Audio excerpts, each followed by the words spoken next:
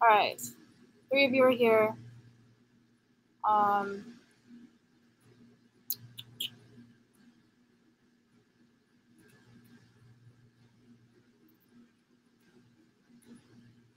yeah, apologies. The I'm running off of a mobile hotspot now, so there might be a bit of a delay. Uh, but please still put stuff in the chat. For me, it's still loading. Um, but I'm just going to carry on shortly, and uh, I'll make sure to, to splice these videos correctly for uh, the recorded class so you don't have to deal with that. Um,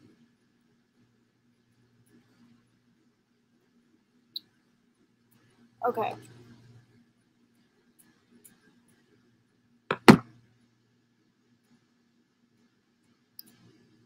Uh, okay, so uh, back to the agar stuff. Again, this is what it looks like if, if you left it out and didn't refrigerate it or anything. Um, these are the plates that I put parafilm around and did refrigerate. None of them have contamination or at least are showing signs of that. So that's just, you know, to show you that it does matter how you store this stuff. Ideally, if you poured plates, you would use them within 24 hours of pouring them. Um, if I autoclave, which I often do for agar, I'll keep them in the fridge for many weeks just because I prefer to make a ton at a time because um, go through a lot. But for this kit and for really basic stuff, if you're just getting to know mushrooms, fresh agar is definitely best. Uh, if anyone tried cloning, let me know how it went, what it looks like. Uh, if it's you're getting like nice fluffy white colonies like this, or if you're getting that, maybe you have some mold as well. Um, it's not the end of the world, but that's also why we suggest making multiple plates of clones, assuming that something will go wrong with one of them. Your chances of having a clean culture go up uh, drastically. So chat is still not loading for me. Um, I'm gonna log in as if I am a student. See if I can just do it that way. Sorry about this, guys.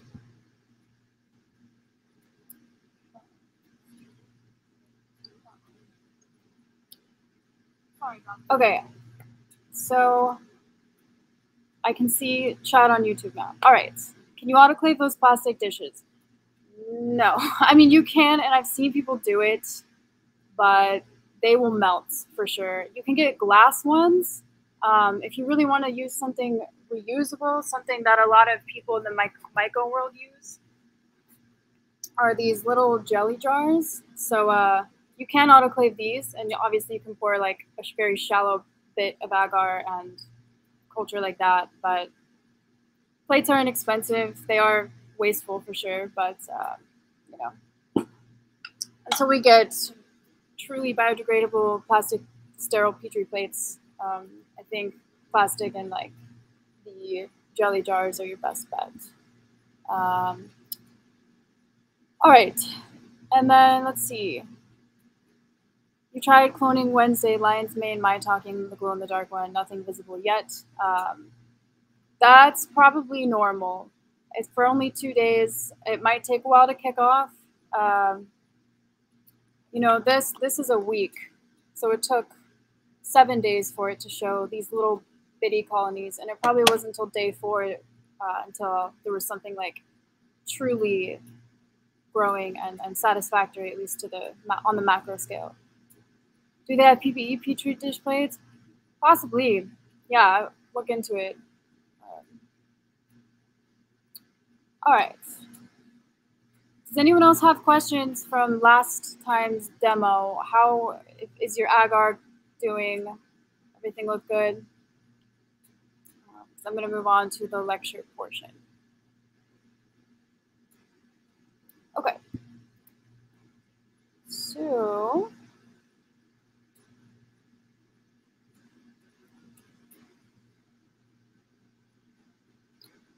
So, like I said in the beginning, we are going to discuss cultivation. And since I can't see the chat on Restream, I'm just going to go through a few slides and then check back in on YouTube every few. Um, and feel free to ask questions, but we will save time in the end as well. Uh, when do you do grain spawn? Well, we'll get there. Uh, that's today's demo, and then we're also going to go over that uh, in this lecture. So.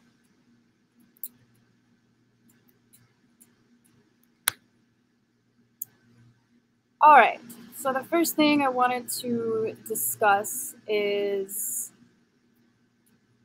cultures. So there's so many ways you can get a hold of a fungal culture. You can purchase them, you can clone them, um, you can take dry specimens, all this stuff.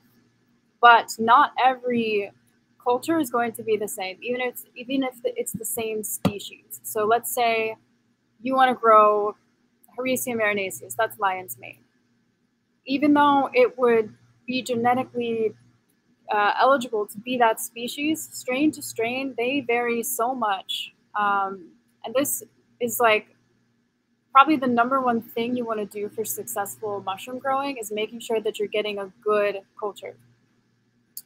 Um, a strain is just an isolate of a single fungus. You know, I mean, think of Homo sapien. We're all the same species, but person to person, variety is uh, drastic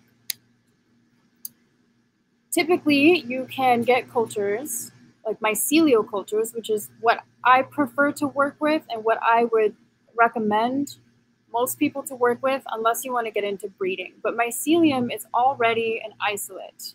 It's a dikaryotic network of fungal cells, typically one species, and you can get them in liquid culture syringes like you got in your kit, agar slants, which is what you see in the picture, and then petri plates. Um, freeze dried mycelium is also available. This is mostly something you see in like the tech world, um, you know, more like B2B, lab to lab providing. But the Odin's actually working on a method to freeze dry mycelium because it lasts a lot longer. Um, Petri plates are probably the least, have the least shelf life of all of these. Liquid culture would be next. Um, agar slants the, the third or the second best, and then freeze dried mycelium, if done correctly, um, the absolute best. And then, of course, there's things like liquid nitrogen, but who has a liquid nitrogen tank hanging around? Not you, not us, not me, the not me. Okay. Um, and you can also culture fungi from solid media. So that strain of Panellus stypticus that you have, I got that from a plug spawn. And plug spawn is basically like a dowel rod, a piece of wood that's allowed the mycelium to colonize it enough to where if you drilled a hole in a log and you put this little dowel in it, in a year or two, that mycelium would have made its way through the medullary rays of the log and fruit. Um, that's a that method of cultivation is attractive for a lot of reasons, but it does take a very long time. Typically, it's done outside, so you are way you're really hands off with with log culture. But that this strain of Panellus stypticus that I gave you guys, that one just happened to be the fastest growing and brightest ones of all the ones I sourced. So I had friends send me some. I purchased uh, like agar slants from random stores on the internet, and then the plug spawn from this company is by far the best. So that's the one that we went with. And that was as simple as plating it on agar. Usually with plug spawn, you're not expecting to get something clean because you're putting it in a log. There's no really like lab or culturing step required. So generally, if people are making plug spawn, they're not going to be attempting to give you something super clean. So what I had to do with a lot of these is grow them out on agar. This one was really clean. But a few days later, I started to see a bit of green mold. And um, what you do in this situation is just keep culturing before the mold has a chance to sporulate and you can clean it or, you know, isolate it from the contaminants. So, um, no questions. Okay. Another form of um, fungal material that you can get to propagate is in the form of spores. Uh, spore prints are common Often they'll come like on a piece of foil, a spore syringe, which looks exactly like the liquid culture syringe, syringe, except you won't see little filaments of mycelium growing. You'll just see these, maybe not even see, but microscopic like dust particles in there.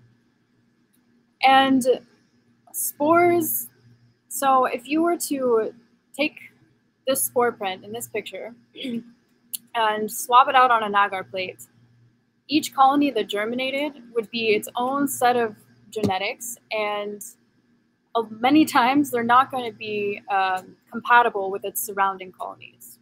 So if you took a spore syringe and squirted it into a liquid culture and kept growing it, you would have all sorts of colonies of different strains of that species growing in one vessel.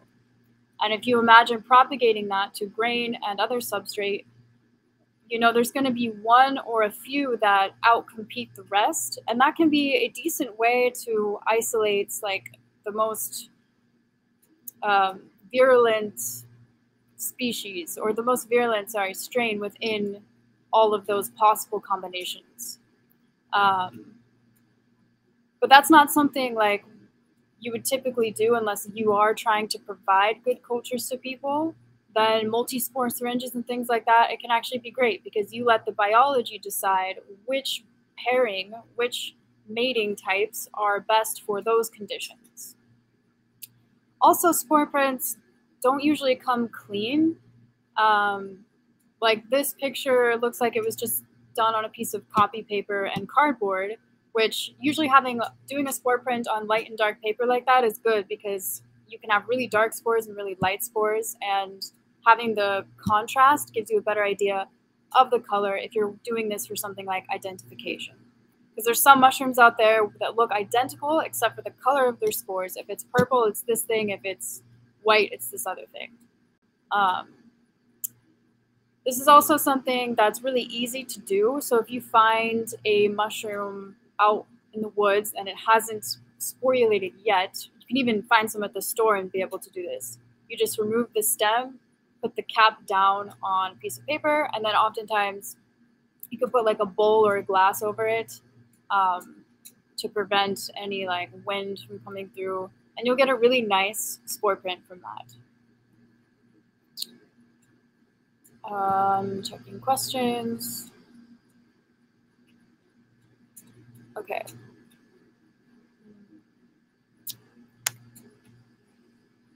So when you're culturing, you are going to run into contamination. You, you very well could. It's something every fungus farmer has to deal with. And the one on the right, that is mold. This is typically going to be from a genus called Trichoderma. It's not toxic, it's not bad. There's actually Trichoderma farms who provide this fungus to other agricultural people who are growing uh, some kind of plant because this is a great soil fungus. It's not toxic, but it is a bummer because usually this fungus will outcompete the fungus you're trying to grow. And that's just not great. But it looks like that. Um, once you get really familiar with, with this, you'll start to notice it in the mycelial stage. And that's good because it has yet to sporulate. That little colony of just mycelium could have come from a couple spores, whereas now, if you're seeing this dusty green stuff, I mean, there's hundreds of thousands of spores now. And, and combating that is going to be a lot more difficult than just dealing with a few colonies of a couple dozen germinated mold spores. Again, it's not toxic, but just if you see it, don't get too upset. Um, don't open it too. If you if you have petri plates like this that have mold colonies on it, don't open it. Just toss it um, because you're going to let the spores out and then they'll be in the ambient space and you know that's just less clean air. And then the petri plate on the right is more what bacterial contamination looks like and often yeast too. So yeast creates almost like this fractal type pattern. Um, it's very rare for me to see yeast contamination. If i ever see it it's usually green mold. And um, bacterial contamination you can mitigate that really easily with antibiotics. Um, but that's the difference. And yeah, it's it's definitely good to monitor your stuff every day because mold will show up within 12 hours. Like there was there's been times where I've gotten to work at the Odin, I've seen a little mold growing somewhere, and then by the end of the day before I leave, that little white colony has turned green. So it's good to check on your fungus and um, take action as soon as possible. Uh, trichoderma is the main fungus used in biotech. Yeah, if not Saccharomyces cerevisiae, yeast. Yeast is also a big one. Um, yeah, man, if I if we were a trike farm, I'd be a pro. Let me tell you. Okay, so testing your cultures. It's good to point out that with liquid culture, like what I gave you, if there was mold in there, there's no way to tell because it's not going to sporulate until it has access to air.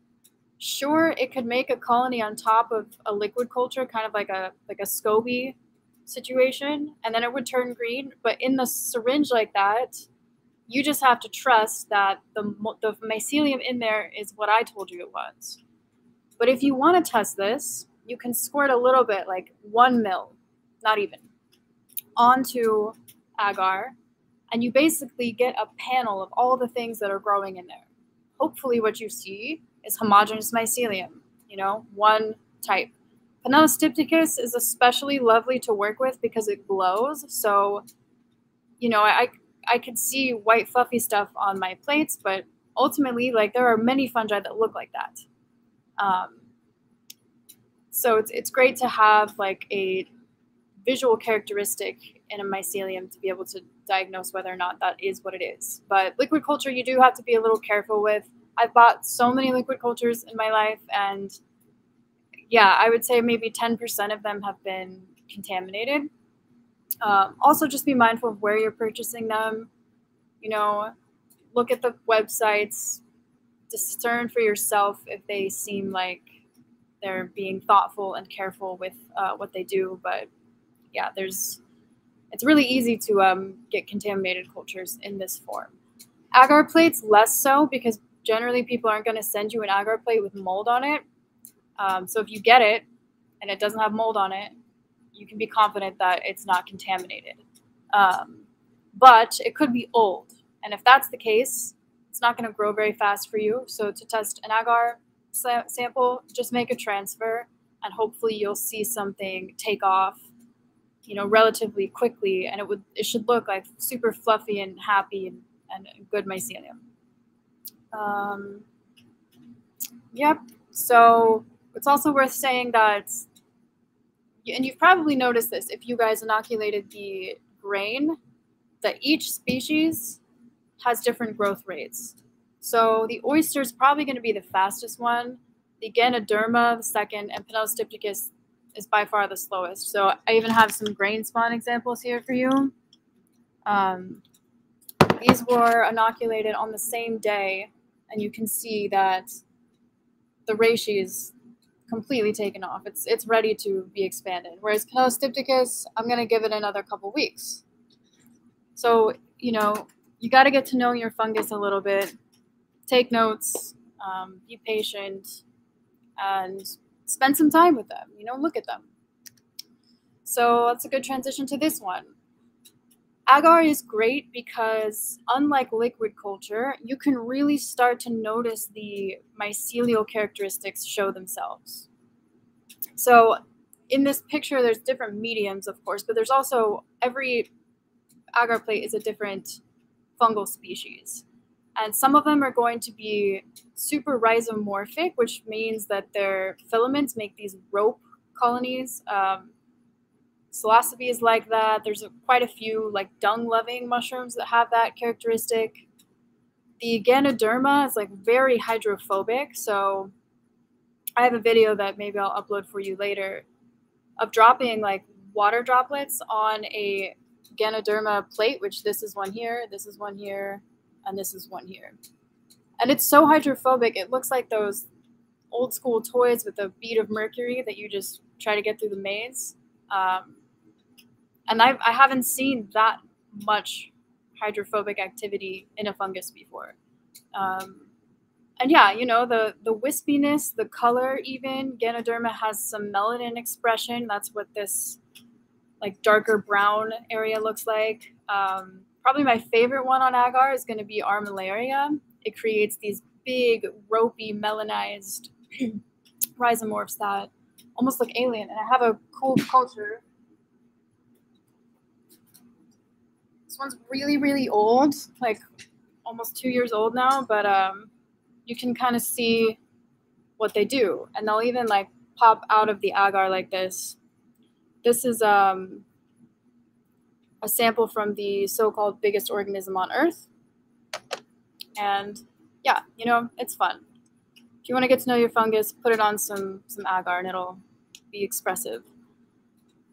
Um, how long can you keep healthy plates going? That's a good question, Lon. So it it does depend on the species, but generally you want to keep that within two to three months. If you put it in the fridge, you can keep it for a lot longer. I have some plates in the fridge that I've been culturing from for almost nine months, but it's getting to the point where I'm going back to the mother culture, which is just an agar slant. Um, and slants are good because there's all of this agar, all of this food in the tube, but it can't get to it, right? Because the surface area of the, the, accessible agar to the fungus on top is so minimal, but there's still enough food that it that this is just how I've been explained to it and what I've read about. It's like it it knows that there's enough sustenance within the slant, and the chances of it drying out are a lot less as well. Um, what did I call that? Can you be more specific, Hooligan Laboratory?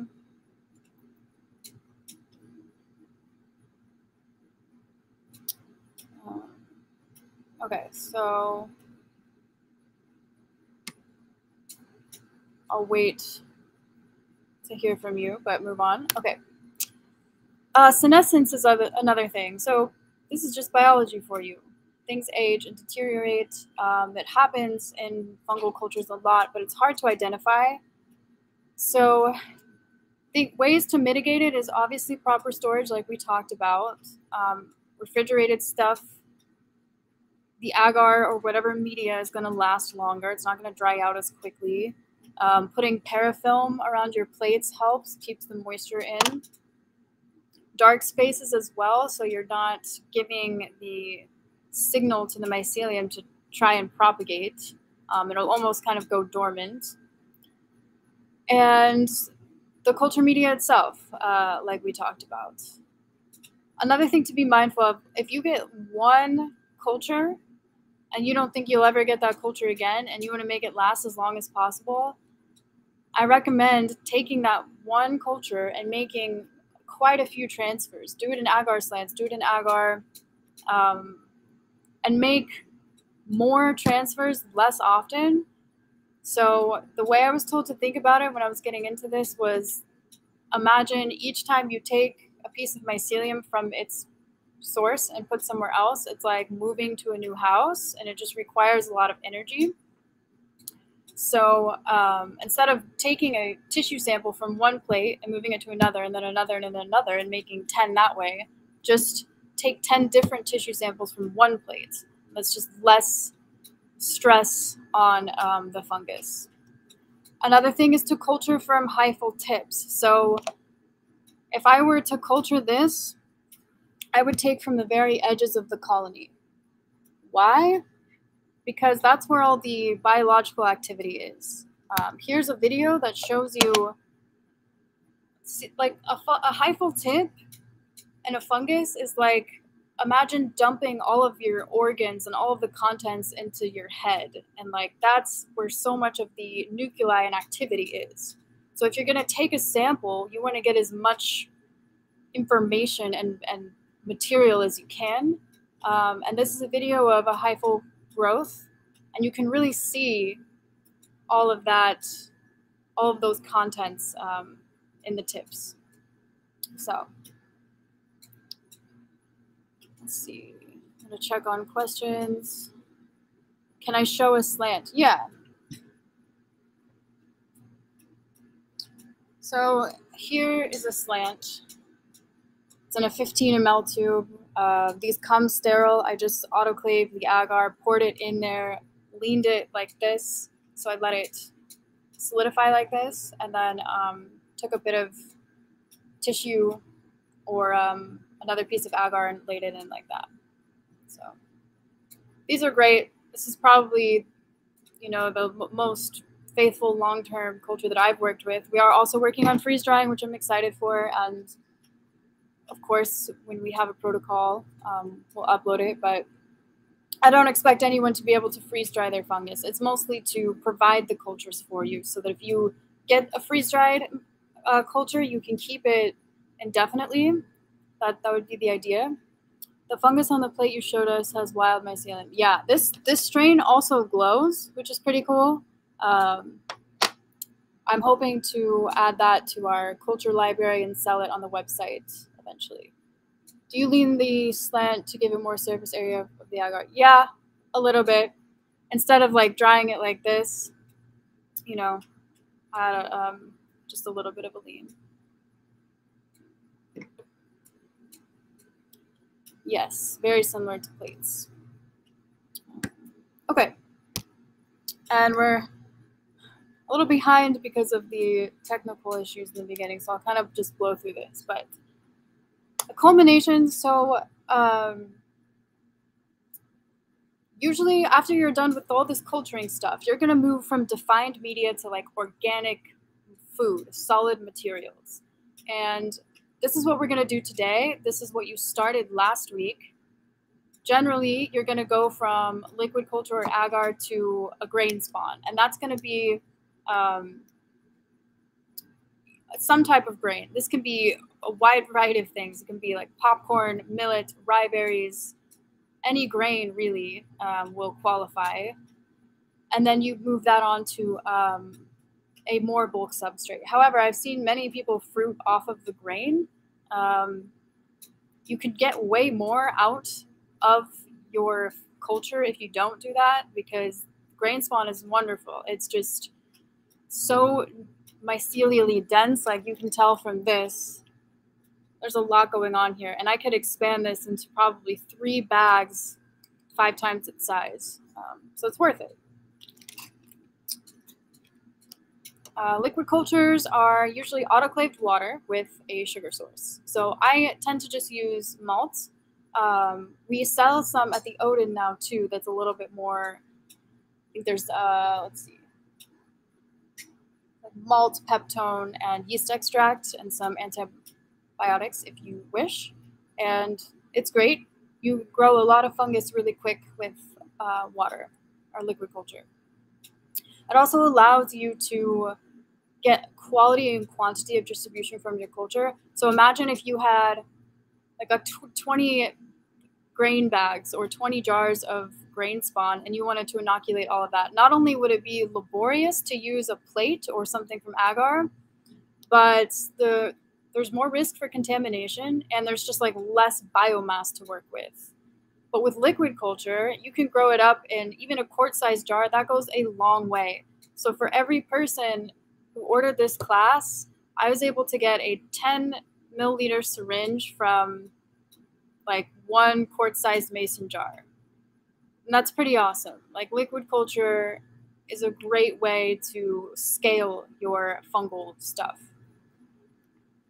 Uh, talked about spawn, you know, it can be anything. This is what new spawn fresh out of the autoclave looks like um, with no fungus. And then that's about what you want to go for before you propagate it. If you do make spawn in a jar, which there'll be a video uploaded in the Google Drive if you want to make your own, it does require a pressure cooker, but uh, you always want to leave some space. You can also just buy these online if you want to, uh, because you want to shake that up, especially with the Ganoderma. If you allow that fungus to fully colonize the grain and you shake that jar like really violently, sometimes you won't get it to budge and it'll just become like this brick, which is great. That's one of the best things about Ganoderma. That's why it's the genus that's most commonly used in mycomaterials. But you need to be mindful of the timing when working with it. So, like, you can tell that this one's all jumbled up because every day I was shaking it to make sure that it didn't harden into one big block so that I could, like, you know, distribute this into more than one thing. If I was just dumping this whole thing into one bag, it wouldn't be as much of a problem. But if you do want to distribute it, you know, shake it up. And the bags are easier because you can massage it. right? It doesn't matter if you let it go too far. Um, you kind of just have to wrestle with it, and it is annoying, but jars have that extra hurdle, but they're reusable, and um, I really prefer them to bags. So I'm gonna check on questions.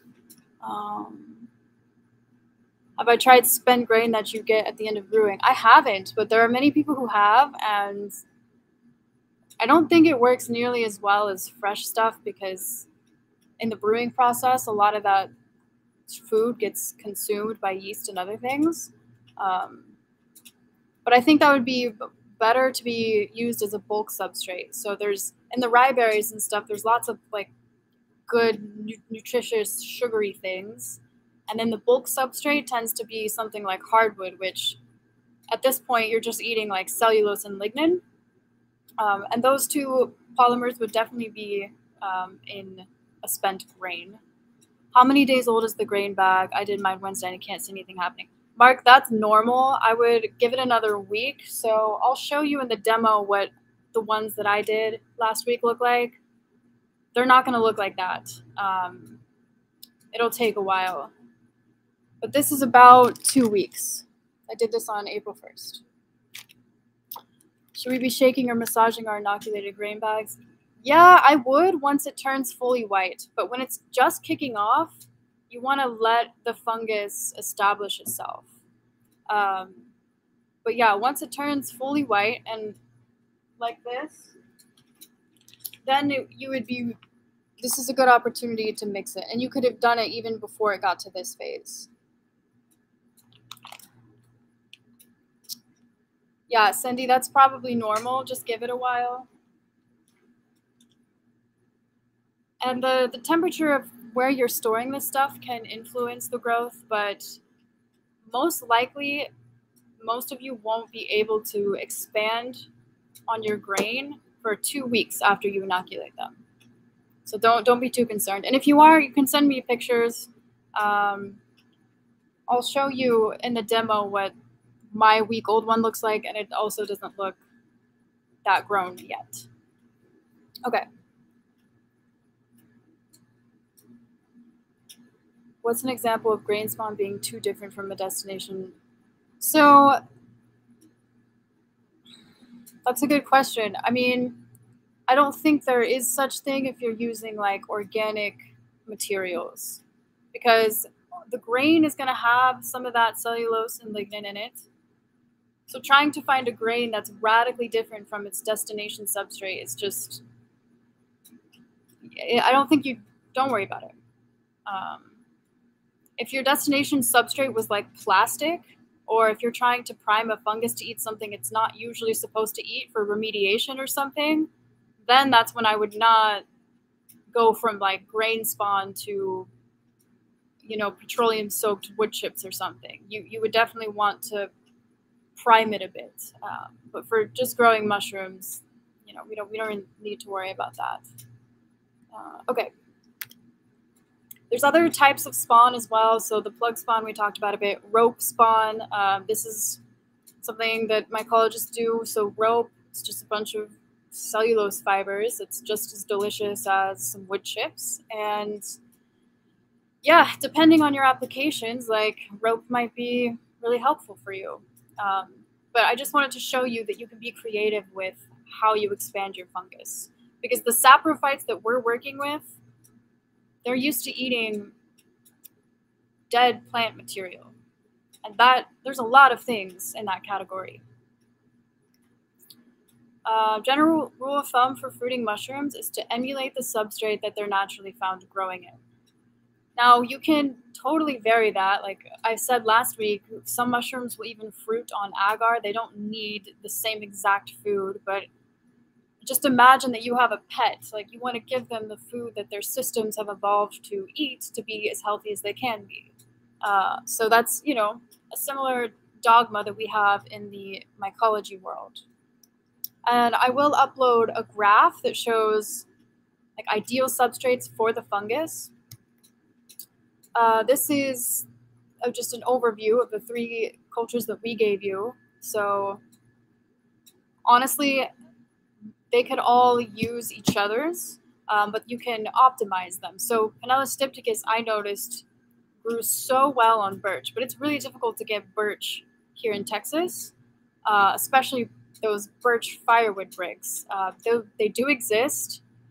They're all in Scandinavia, and the shipping is just ridiculous, so it's not even worth it. But um, you know, these things make a difference. And with the Ganoderma, like if you add things like beet, it, influences the color of the mushroom, and you can really play with these substrates. But if even if you just had straw and like random hardwood wood chips, which is basically what those fire bricks are, you're going to get mushrooms. There's just ways to optimize it. Uh, there's also supplementation. So you can add extra stuff. In your media kits, you have bags of starch. There's two bags. One's going to be for Panellus stypticus. One is going to be for Ganoderma. Um, the Panellus stypticus, the starch does a couple things. Like one, it encourages the mycelial biomass, but it also makes it glow a lot brighter.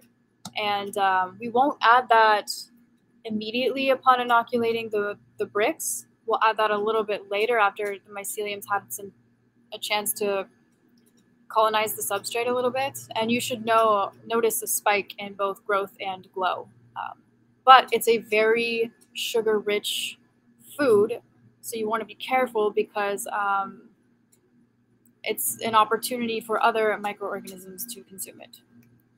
Okay.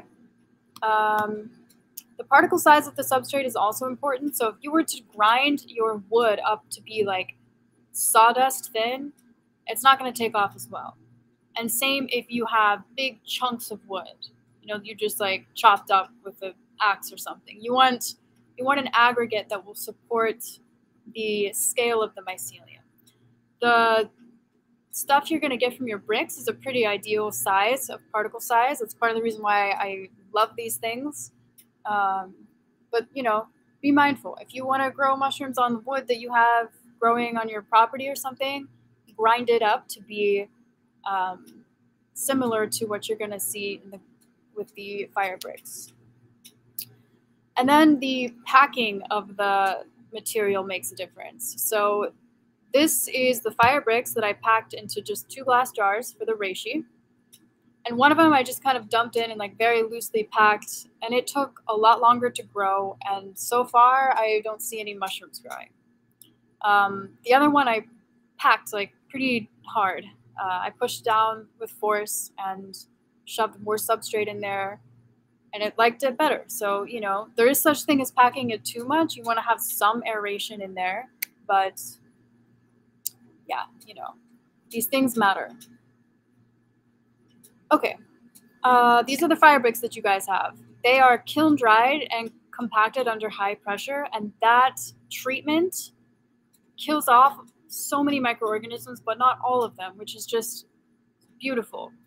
Because um, I've worked with these enough that they're basically they basically come pasteurized. So when you dump boiling hot water on them, which is how you reconstitute them and how you make them ready to be substrate, you are sort of pasteurizing things. Like you pour boiling water on a lot of bacteria, it's not going to survive. It's going to do a lot. But it's not going to kill everything, and that's what pasteurizing is. I've autoclaved these things too. So I've rehydrated it, put it in the autoclave, tried to inoculate them with grain spawn, and I got contamination. Granted, I was doing it without a flow hood, but I was trying to make this kit for people not using a flow hood, not using an autoclave. And I just wanted to get to know this material. Every time I sterilized it, contamination. If I didn't sterilize it, no contamination. So what does that suggest to me? That there's a biological element within these bricks. So there probably is some organisms that survive both the treatment of the brick making and also the boiling water that help in some way the fungus that you inoculate. What that is exactly, no clue, but this is just kind of the beauty of pasteurization. You know, there's going to be other things living in tandem with your fungus, but that don't seem to outcompete it, but maybe prevent or signal mold spores to just remain dormant. Um, so it's good stuff. Uh, these firewood bricks have been pretty revolutionary uh, for me at the Odin, and I hope a lot of people out there who want to grow mushrooms in a really low tech, accessible way. Uh, humidity. So if you fruit your stuff outside of a bag, it matters, and you're going to need to maintain it. You can take a spray bottle full of water and just mist your stuff that way. But what we're going to be doing is basically making a terrarium. So if you have your stuff in jars, the humidity stays consistent. You'll want to mist it like once a week, maybe, but more probably less than that. Um, and then for the stuff that we're growing, you I'm going to suggest that you keep it in the bag. Uh, it'll just be safer from contaminants and um, keep the humidity and CO2 in check. Uh, temperature, we discussed a little bit last time, but yeah, there's methods where when you're incubating your fungus, so your grain spawn and stuff, um, if it wasn't kept in a dark room, that's okay. But anytime that the fungus is not in a phase of fruiting, the dogma is to keep it in a dark space because we're trying to emulate what it would do in the wild. And mycelium doesn't grow in the day, it grows inside of things, right? It grows underground in trees, things like that. So we want to maintain those biological signals um, to make it uh, more successful. CO2 affects the morphology and virulence of a fungus, of course. This is especially noticeable with the Ganoderma. So if I were to grow these this mushroom not in a contained space but out in the open, I would get like conchs. And this is the the ratio you see on your hikes, you know. They're like these little shelf mushrooms coming out from a tree. And they are completely different morphology if you subject them to high CO2. The beautiful thing here is that fungi respirate and they make their own CO2. So imagine if you're stuck in a bag breathing, like there's going to be so much CO2 in that space. And that's what's happening here. That's what's encouraging the antler formation. You know, the thought is that the fungus is trying to forage for a way out um, to access oxygen. And what's happening in this picture is that a the tip of the mushroom has hit the filter patch. Obviously, it knows where the oxygen's coming from, and it's growing out of that. So I could continue to let this grow, and right where it starts to burst through the filter patch, it's going to create like a little conch, and it's going to look really different from the fungus inside and you can play with this you know? Like the reason we provided the ganoderma culture was just because it's an aesthetic mushroom and it's a great materials mushroom. Like open up the bag let let some oxygen in and then close it and you'll probably see these fluctuations in the mushroom. Okay no questions? So lights all fungi are photoreceptive Ganoderma is another example that responds really um, obviously to light, especially blue light. Um, yeah, you if you like turn your bags a lot, um, the antlers tend to grow towards the light, and this is true for a lot of mushrooms. But Ganoderma is just it it grows so long, whereas like the oyster mushroom, you'll notice it'll pin and make oysters and be ready to harvest within two weeks max. Whereas the reishi, you could have that growing for many months. You know, it's kind of this long term fungus. And even after it's done growing, it's not going to get moldy and soft and slimy like an oyster mushroom will. It's going to stay tough and hard and almost be like a living or not living, but once living sculpture. Uh, they're, they're really sturdy. Other considerations when you're cultivating is nitrogen source and pH. Uh, we're not going to get into that much in this class because I think the difference with the with these strains and this tech is pretty negligible. Uh, but Panellus stypticus, I was messing with some pH and it seemed to glow a little bit brighter with um, lower pHs. But starch also. Starch did just as well as um, citric acid. And then um, if you're ever really serious about farming, this is like the go-to way of knowing if what you're doing is successful or how to track what you're doing in changing the substrate and knowing if it's rendering better flushes. Um, and that's literally just comparing the mushroom weight to the substrate. So you're getting as much mushroom from the food as possible. Uh, so here's some more morphological examples of Ganoderma. Um, the picture on the left here, that like disc you see, it ran into the filter bag and then I took it off and kind of moved it and like was able to almost like sculpt these, you know, discs in the mushroom. So play with this. Like Ganoderma is really responsive. You can put like a dowel rod in your bag or anything and have it grow up and around it. Um, it's it's almost moldable in that way that if you grew it up against like something textured too, it would take on that texture. Um, and then this is just interesting. The picture on the right is the Ganoderma sporulating surface. And yeah, it's just the variety is really fun to work with. Um, every single bag I've grown, even if it's exact same conditions, looks very different. So, you know, embrace it. And you don't have to grow them in filter bags. So this is also something we'll discuss next week, but growing them in vases is great. They're beautiful. They'll last a while. I wouldn't do this for like oyster because it'll get old and rot eventually. Um, but the Ganoderma, this in this phase will last for months to years, um, probably years. And yeah, typically, if I'm growing them in a vase, I'll have them in a bag. So, like this, um, because I want to keep the humidity and CO2 in check.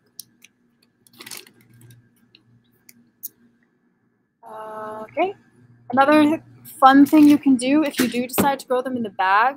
Um, you saw how that mushroom went through the filter patch. If you poked a hole in the, the bag too, the mushroom's going to respond and it knows like this is where the air is coming from and it's going to start poking mushrooms out from those holes. So you can design your mushroom sculpture that way.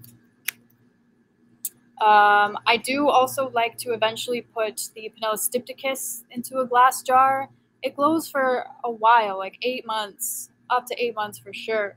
So we're going to have it grow out in a bag, but then you can take pieces of that substrate and put them into whatever you want. These are just a bunch of like eight ounce jars. Um, you can share it with friends or whatever. It looks a little nicer than just a bag of dirt. Um, you know, we've experimented with all sorts of stuff and, you know, be creative. this is what Panellus stypticus mushrooms look like in, uh, in vitro. So if you found these things in the wild, for anyone in upstate New York or um, I think even the Northeast, Northwest, sorry, these things grow in the wild. They look like oyster mushrooms. They have gills. They're pretty big, um, you know, one to two inch in across. But for some reason, growing them in the style that we do, we get these more like coral looking primordia. And they, for me, have not fruited technically because they're not creating spores, and I've been unable to see that happen. Um, but if you start seeing these little nodules in your Panellus bag or whatever, those are mushrooms, and they glow a lot brighter than the mycelium. And then Pleurotus, um, I imagine this is the one that most of you are most familiar with. You've probably eaten it a few times. They're probably the easiest ones to work with. They'll eat anything, and um, they're fast growing. Yeah, what we usually do with these is have a bag, cut a hole in one or two sides, and then a whole like bouquet of oysters will fruit out from that. Um, uh, we won't talk about this because we're a little low or already past time, so I'm going to just jump into the demo. But again, I would not follow along here unless your grain spawn looks like this, which I'm guessing it doesn't because if you inoculated it one week ago, you're not going to see this much mycelium yet. But, you know, watch, ask questions, and um, when it, the time is ready, you'll know what to do. So Questions? Anyone have questions? I froze again. Okay, I'm sorry. I hope that uh hope that doesn't happen again. So. All right.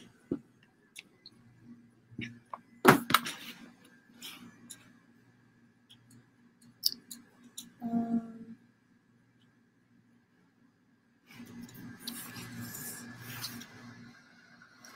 so I've got a kettle here. That's what I'm using to boil water.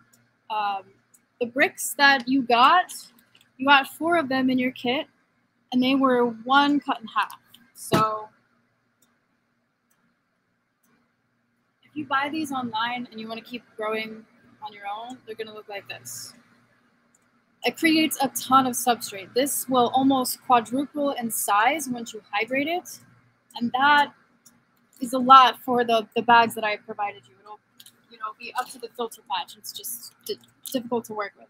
This is half a brick um, with water added to it. So this is what yours will look like once you add water to it. Um, while this is boiling, I'm going to be a good farmer and uh, put on my gloves, wipe down the area with isopropyl alcohol, wear a mask.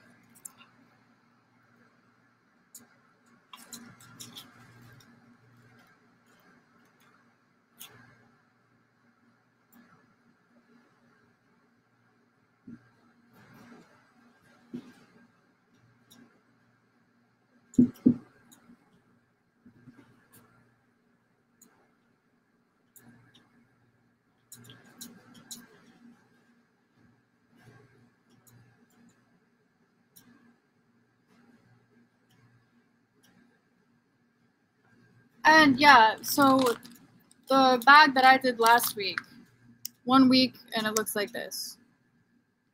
So just to let you guys know if it doesn't look like this in one week, that's totally normal. Yeah, this class is over three weeks, but honestly, the entire process of culmination is going to be more like a month and a half. Um, okay, so my water done boiling and you want to pour it pretty much right away. Be super careful here because it's boiling water and when you pour it in the bag, the bag will almost warp and uh, it, it can be easy to burn yourself. So just if you have something like a small trash bin or you want to hold it with a uh, like tongs or something to protect yourself, you know, just be mindful and you'll see what it looks like. But open up this bag. Remember to have one brick per bag. And then I usually like fold it over so I can grasp it like this. Have it open like that. I got my boiling water. Um, I meant to say this earlier. Your bricks are going to range in weights, but for the most part, they're going to be around 450 grams. So add 700 milliliters of water. Um, it's better to overhydrate than underhydrate these things, but even if it's not a perfect 150 50% hydration, it's fine. Um, these things are really forgivable. So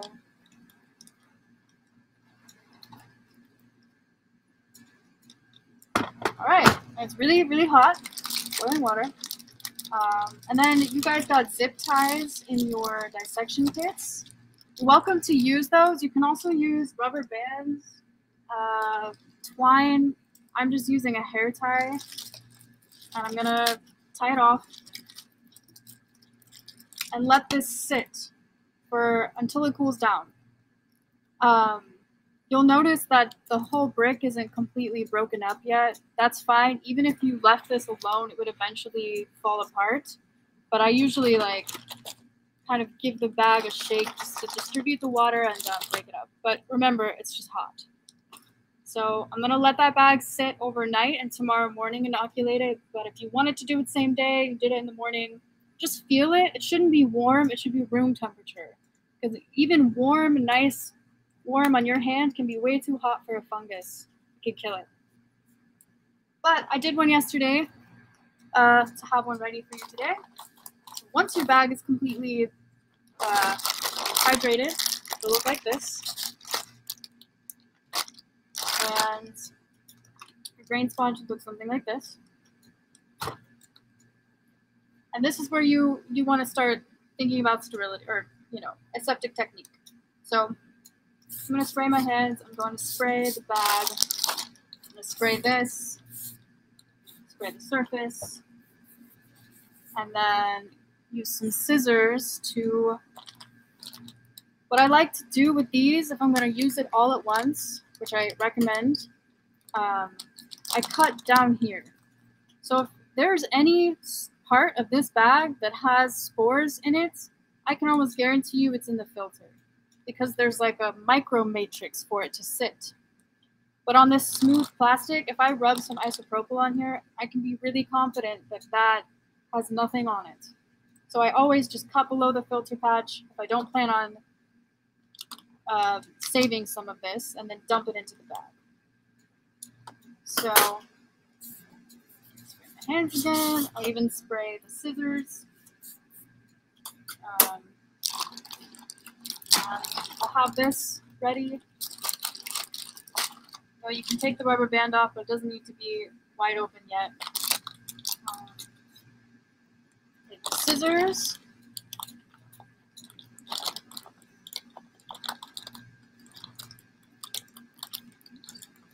It's best to get it all in one smooth cut.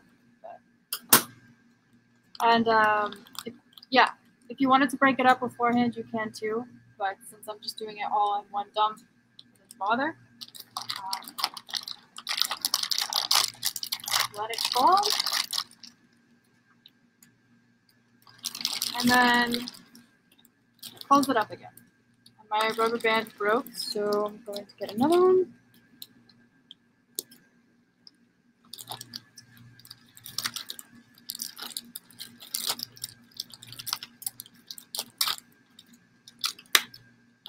And then when you inoculate it, it's all on the top.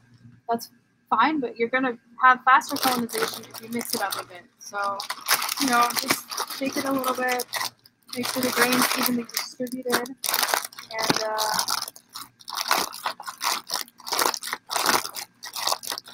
with grain spawn that's that well taken off, um, you should start seeing growth in a few days.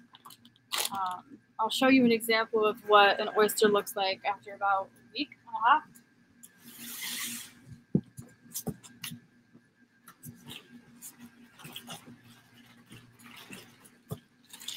Oh, this is two weeks.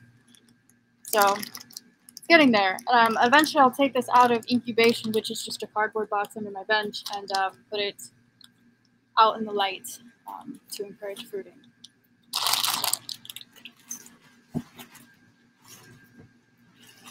Also wanted to show you this with the reishi. Uh, it's just a big glass vessel.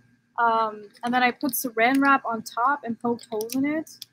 Because what I'm trying to do is get the mushroom to fruit from those specific spots, um, like they would if I did it in a bag.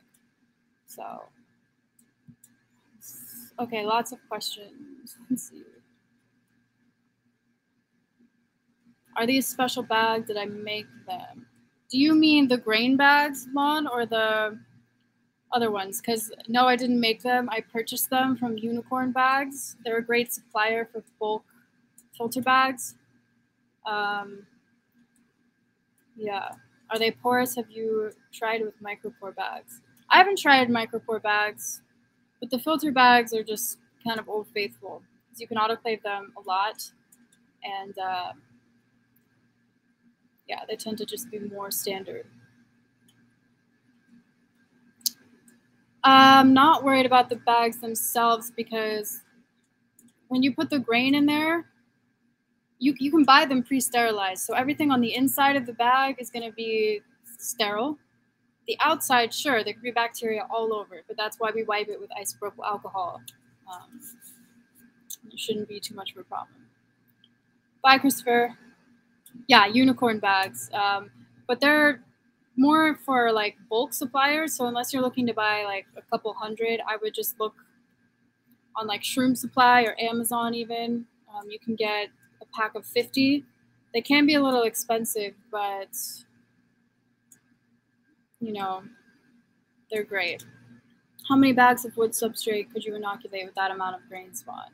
So you could probably get away with making three of these with that amount of uh, grain. But it's going to take longer to grow. And the reason I wanted to have you do the whole grain in this bag is because faster colonization means less likelihood of contamination and just like mushrooms quicker. Um, but yeah, you you can probably go up to three times. I would say keep the grain spawn to bulk substrate at least 10%. So 10% of this, volume wise, um, use at least that much grain spawn. And it should be really well colonized grain spawn. So like this stuff is so fluffy. I mean, this you could totally get away with maybe even something like five because each grain is carrying such a substantial amount of mycelium. Um, I mean, and you could theoretically like use this to inoculate a substrate, but it's just kind of a waste. Like it's not going to make things faster because you're going to have to wait for the mycelium to catch up to the substrate anyway. You might as well let it run its course on rye, almost finish its food here, and then be metabolically prepared to uh, work with a different substrate. So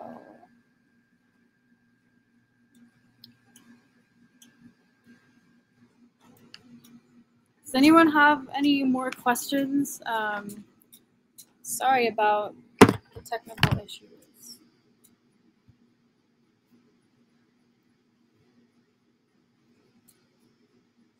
Next week, um, I'll show you how to put what's in that bag into a secondary vessel.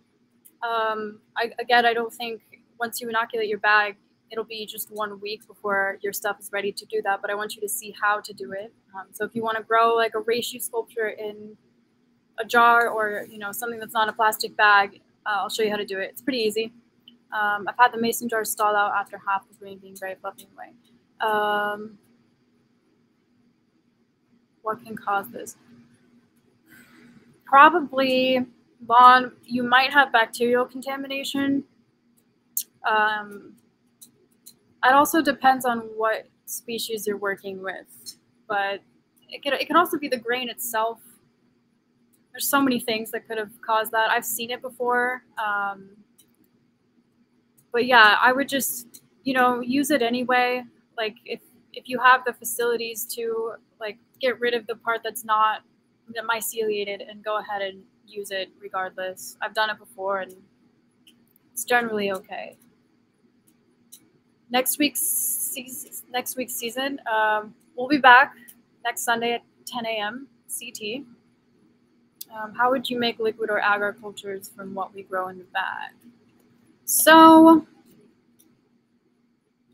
it's not the best way to get a culture from a solid substrate, but you could. And like I've done this before many times, especially with like Ecovative's grow kits. They you get like a colonized hemp substrate. Like you you can literally to take sweet tweezers, find a good pinch of mycelium and put that on agar and it would work. But you have to consider that at that point in time, the fungus has already done so much that um, it's best to just reach for cultures that are, so to speak, like younger um, but you can do it. And I have done it for like, you know, genetics or cultures of stuff that I couldn't get any other way. What is the purpose of doing this in two stages, rye, grain, then substrate? So, Paul, if you were to take liquid or agar and just go straight to the um, sawdust bricks, that's a very different food source, and it just will. It, the time it takes for the fungus to adjust is a lot and not only that, not only metabolically is it kind of a shock, but the biomass is such a difference. So, like with the grain spawn, you get lots of good fluffy stuff that you can put into more of a bulk substrate, right? And if you consider like liquid culture, all the media in there is just like insta food. It's sugars that take little to no enzymatic labor for the fungus to absorb. And you want to sort of prime it for that.